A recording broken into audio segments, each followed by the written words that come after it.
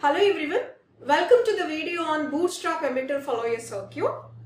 Yes, in the last videos, uh, I explained about the Darlington emitter follower. Darlington emitter follower circuit and bootstrap emitter follower circuits. These two circuits comes under high input resistance transistor circuits. We know the CC amplifier is having high input impedance, but why are going for this uh, uh, Darlington emitter follower circuit or bootstrap emitter follower circuit? What is the reason? I'll explain here. See, uh, first I'll see the CC amplifier. The base uh, terminal, emitter terminal and collector terminal. Okay, when we are analyzing this amplifier, I'll use uh, that approximate H parameter model. Yes, if you draw the approximate H parameter model for this, base, yes, output is emitter and this is collector. Fine. So between base and emitter, HI, between collector and emitter, we have HFEIB like this. Now, by doing AC analysis, VCC must be 0. So when VCC is 0, R1 other end is grounded. So instead of grounding here, you can ground R1 here. This is all ground. So now, yes at base R2 and R1 comes in parallel. So this is R2 and this is R1. Okay. So now, just I am explaining only about input impedance.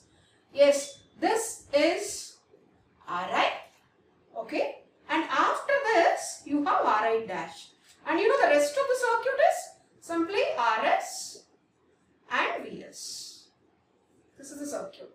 Okay. Then what is Ri for CC? Yes, we know Ri for CC is Yes, I have given the table HIE plus 1 plus HFE into RD. Okay, now what is RI dash? RI in parallel with R1 in parallel with R2. Okay, thus HIE plus 1 plus HFE into RI is very high. Okay, this RI is very high which is in parallel with R1 in parallel with R2 resistors R1 and R2 are lower, very lower than this input impedance. So what is happening to their parallel combination? Their parallel combination becomes low. Fine. Then very high value of resistance in parallel with low value of resistance gives low value. Okay. Okay. So what is happening? Actually the input impedance is very high but because of the biasing resistors R1 and R, the input impedance is becoming very low. So we can't use a CC for high impedance applications. So what you have to do, you have to remove this R1 and R2. Okay, then yes, the input impedance becomes Ri which is very high.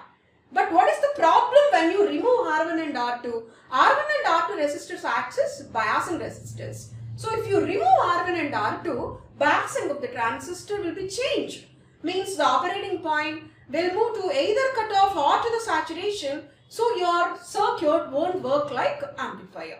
Okay, so that is the reason you have to keep the resistors R1 and R. At the same time, you have to maintain the input impedance of very high value. So now I will explain bootstrap emitter follower circuit which is an alternative for this high impedance CC amplifier. Okay, this is the bootstrap emitter follower circuit. You know uh, the emitter follower circuit, emitter follower circuit is the other name for common collector amplifier. Okay, then series emitter follower circuit. Difference between this circuit and the previous circuit, the previous CC amplifier is at R1 and R2 center is connected at base. Okay, this is base, emitter and collector. So here, what is the circuit? R1, R2 center is this and to the center R3 resistor is connected R3 other end is connected at base. That's all. Then another thing is between this node and the emitter there is a okay. So now what is happening? So now what I'm going to prove? I'm going to prove that this bootstrap emitter follower circuit is having high input impedance as well as good biasing. Okay. So now coming to the DC operation. Okay. So for DC case, we know all the capacitors are open. Okay. So what will happen when the capacitor, when this capacitor is open? So when this capacitor is open, see this, this capacitor is also open. Uh, because this is DC analysis, no need of this, only VCC is enough. Yes, now, when it is open, this gets disconnected. When it is open, imagine the circuit when it is open. Yes, yes, this is also open. Now, R1 and R2, their center is connected to R3, R3 is connected to base. So, what is happening? We are getting biasing by the resistors R1, R2 and R3. There R1, R2 center is connected to base. Here R1, R2 center is connected to R3 and R3 other end is connected to base. Totally the three resistors are connected at base only. So the, these three resistors works like biasing resistors for this circuit. Okay. So then R2 and R3, yes, fix the biasing. Fine. Now I'll resume the circuit. Okay. So now we'll move to the AC operation. So what happens to the capacitors? Capacitors become short circuited. This is short. And this is also shorter. Fine. Okay. This is okay. Fine. That is uh, 0. Yes. Now, when the C gets shorted, okay. So, what is happening to R3? R3, one end is at base, another end is at emitter. Because C is shorted, remember. Okay. So, R3, one end is at base, and another end is at emitter. So what is this uh, base? Base is input terminal and emitter is output terminal. Okay. So your R3 resistor is between input and output. Okay. So if there is any common resistor for input and output, to separate that effect for input and output, separated for input side and output side, we have the concept called Miller's theorem. Okay. So now, yes, to separate R3, okay, use Miller's theorem. Okay, now, according to the Miller's theorem, at the input side, connect a resistor, let it be RM1, okay, which is equivalent to R3 by 1 minus AV. Okay, then output side connect a resistor RM2 which is AV into R3 by AV minus 1. What is AV? AV is voltage gain V0 by Vi. Okay. So now, uh, for an example, as I want to prove the circuit is having high input impedance, as well as good biasing. I already proved that exists good biasing. Now, to, I want to prove it gives high input impedance. So, for that, I'll take uh, the, the values R3 as 200 kilo ohm and as this is CC configuration, the voltage gain approaches to 1, let it be 0.99. So, what is happening to RM1 if you substitute these two values? It becomes and it becomes approximately 20 mega ohm. Okay, so 20 mega ohm resistance means it is very high. Okay, so now we'll connect this RM1 and RM2 our circuit. Okay, I am just removing the R3. Remember, this short is for C, the capacitor C. Because of this short only, Thus R3 seems to be connected between base and emitter. Okay. So R3 you have to disconnect R3, a common R3 and you have to separate it like RM1 and RM2. But you should not remove this uh, capacitor short. Okay. So now I will connect. Yes. RM1 here and I'll connect Yes. Okay. So in this way you will connect the Miller's resistors RM1 and RM2. Okay. So now base exactly have the resistance, input resistance Ri and after Rm1 you have the input resistance Ri dash. Okay, so now see uh, what is Ri? Ri is the input resistance for common collector. So what is it? HIE plus 1 plus HFE into RE. Okay, what's this? Very high, we know it. Okay, now what is Ri dash?